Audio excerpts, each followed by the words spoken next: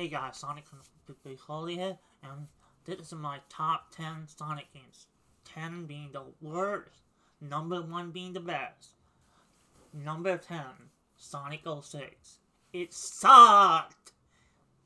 I want to throw it out the window, for God's sakes. For God's sakes, and the ba bad levels. N number 9, Sonic Boom. Never owned it, never want to own it.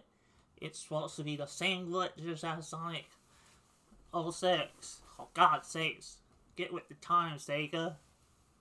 Number 8, Sonic 1.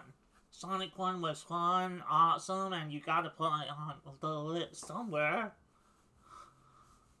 You know?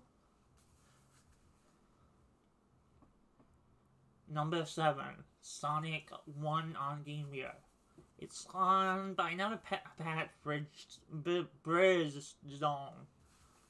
for some reason. Number 6, Sonic Mania. It's cool to reinvent the classics. You know what I'm saying? Dog. Homie. Homie G-Dog.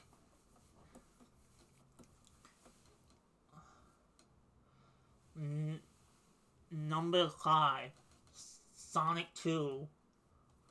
Or Sonic Hedgehog 2, but it's fun. I like it.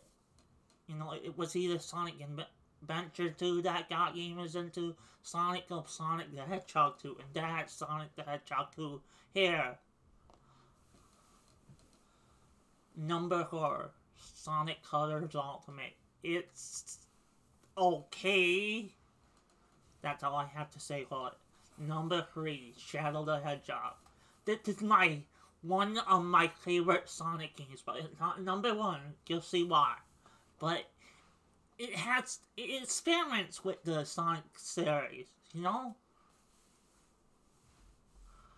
You know, it experiments.